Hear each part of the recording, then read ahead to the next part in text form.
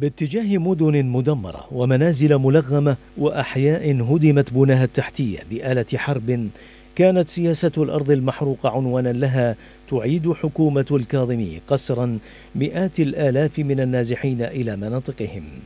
ومع أن الأوضاع مأساوية داخل المخيمات إلا أن كثيرا من النازحين يصرون على التمسك بالبقاء في خيامهم المهترئة بدلا من مواجهة مصير مجهول محفوف بالمخاطر مع غياب الدعم الحكومي ومع الاستهداف الممنهج.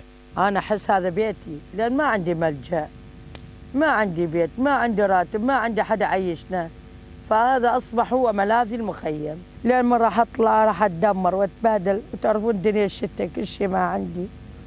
وأنا راح أطلع بطرق عباتي بس. لم تحمي صرخات هذه السيدة كغيرها من النازحين من سياسة التهجير الجديدة بعد إعلان حكومة الكاظمي التزامها بعودة نحو مليون ونصف مليون نازح إلى مناطقهم وإغلاق مخيماتهم كافة نهاية العام الحالي أي قبيل إجراء انتخابات مقررة في شهر حزيران المقبل في عمل غير مسؤول لإنهاء ملف مثقل بالفساد والانتهاكات الحقوقية. ومع جملة الاتهامات التي وجهتها منظمات دولية بشأن خطورة هذا الملف إلا أن الحكومة مصرة على مواصلة إغلاق المخيمات وعده نصرا. المجلس النرويجي للاجئين اتهم حكومة الكاظمي بإجبار النازحين على العودة القسرية من دون توفير أدنى مستلزمات الحياة في مدنهم المدمرة والمحاطة بحقل من المخاطر. أبرزها انتشار الميليشيات والمخلفات الحربية القابلة للانفجار ومشكلات عشائرية. مخاوف تتطابق مع قلق منظمة العفو الدولية.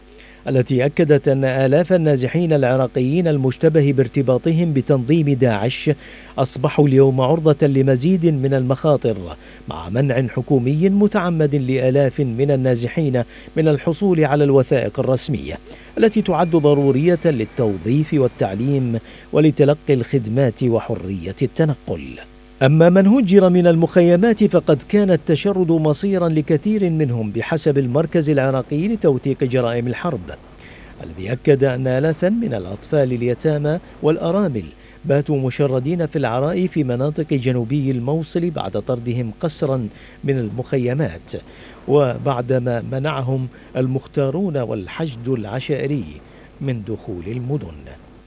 وبعد التهجير الحكومي القسري يتساءل النازحون عن مصيرهم المقبل ولا إجابة تحمد تكهناتهم تلوح في الأفق.